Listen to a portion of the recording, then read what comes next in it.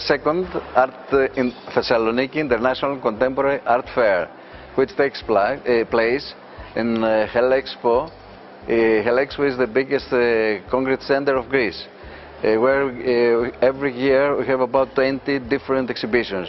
But Art uh, Thessaloniki is the second art fair.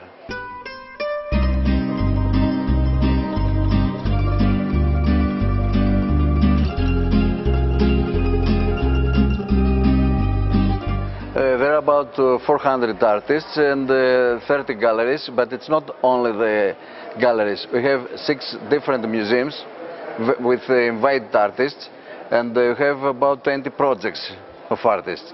Every year we want to build a, a high quality and the next high, more high quality. This is our uh, stochos in Greek.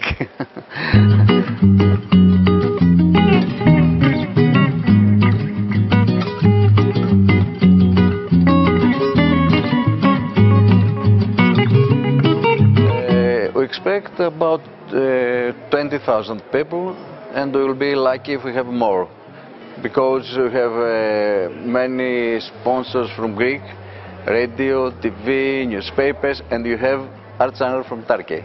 We have uh, two galleries from Turkey and uh, I think uh, we're together for many years.